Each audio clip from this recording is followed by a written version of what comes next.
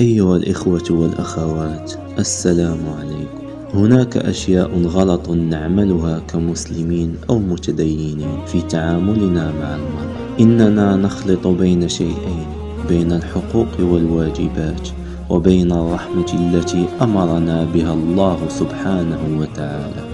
فقد أمرنا سبحانه وتعالى في أصل الحياة الزوجية والحياة العائلية في التعامل مع المرأة عموما وهو الفضل والرحمة والمودة. اسمع للقرآن الكريم وهو يقول وعاشروهن بالمعروف ماذا تعني وعاشروهن بالمعروف؟ أجمل ما قرأت في تفسير وعاشروهن بالمعروف. ليس معناها أن تؤذيها ولكن معناها أنك تتحمل أذاها إذا آذتك. تعالوا لنتعرف عن النبي صلى الله عليه وسلم وكيف تعامل مع المرأة سلمت قلبي يا ربي لتصله رفعته لك من خوفي فأنت له تعبت مني فكم أسرفت أتعبه؟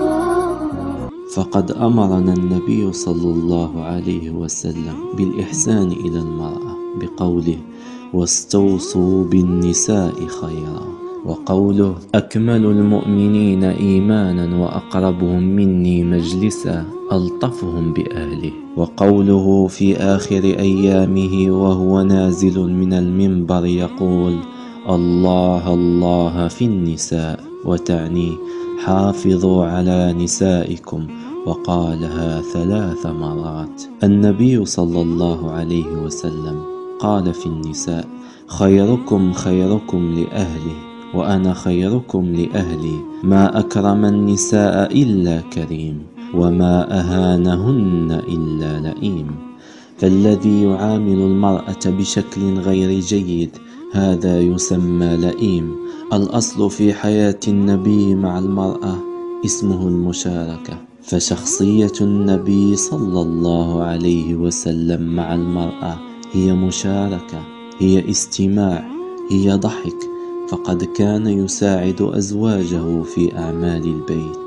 ويحب أزواجه ويحترمهم. هناك ظلم في التعامل مع المرأة اسمه ظلم العواطف. فقد قال الله تعالى وأحضرت الأنفس الشح. الله يصف بعض المتعاملين مع المرأة بأنهم نفوس شحيحة وهذا أسوأ الأشخاص.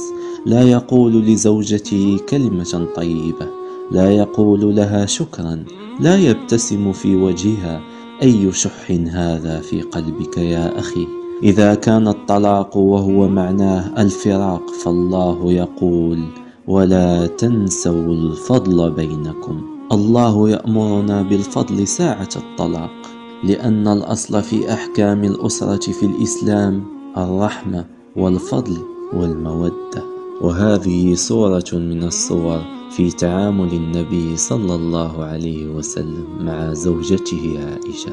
يقول الحديث عن عائشة رضي الله عنها قالت خرجت مع النبي صلى الله عليه وسلم في بعض أسفاره وأنا جارية لم أحمل اللحم ولم أبدن فقال للناس تقدموا فتقدموا.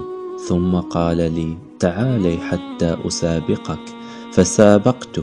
فسبقته فسكت عني. حتى إذا حملت اللحم وبدنت ونسيت خرجت معه في بعد أسفاره فقال للناس تقدموا. فتقدموا. ثم قال تعالي حتى أسابقك. فسابقته فسبقني. فجعل يضحك وهو يقول هذه بتلك. لا تنسوا الاشتراك في القناة وتفعيل زر الجرس والإعجاب بالفيديو. شكرا لكم.